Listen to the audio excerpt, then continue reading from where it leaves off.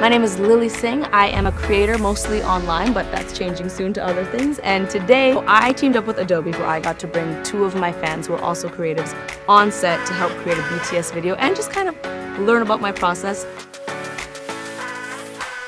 As a female in production, I'm really excited to see how Lilly uh, is on set. Lilly's always very big on like energy, you know, like she's always like this person has great energy and I vibe with that. And I think her positivity and her joy is something that's so contagious and radiates throughout her content and what she does and what she puts out.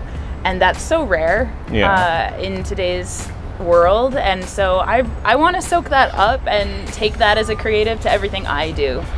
Hello! Welcome. Welcome to my set. Hi. Very nice to meet you. Adobe helped get Claire and Anthony here. My fans got to submit their work on Twitter and Instagram, which I love because I feel like it created a lot of excitement within my community. People were posting their illustrations and their videos and their just like design work, and it was amazing because I literally sat in my office and went through all of these submissions, and I was like, these people are way more talented than me. I picked Claire, who did this amazing video um, that was just so well shot and so well thought out. And I also picked Anthony, who created this illustration of me that caught my attention.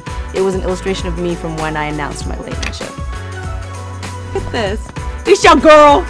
Posing. Look at him, he gave me a pointed chin, he gave me some cheekbones. he did the whole thing.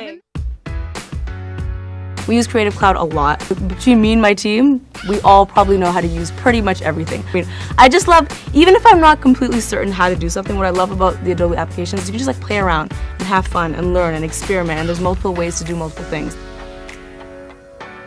I just like the idea of having something in your brain and then having the tools to bring it to life.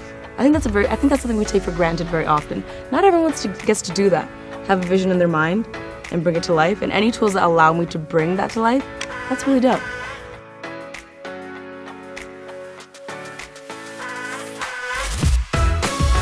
What I would love to gain from this experience is honestly real human interaction. I think for me, you know, I so much of my life is behind a screen and my fans usually see me on a screen and so it's still important for me to be able to execute, perform, and communicate in person with the people who have given me this amazing platform. And so what I hope to gain is like learning from them, they learn from me, and we actually get to vibe and connect as humans, not just digitally.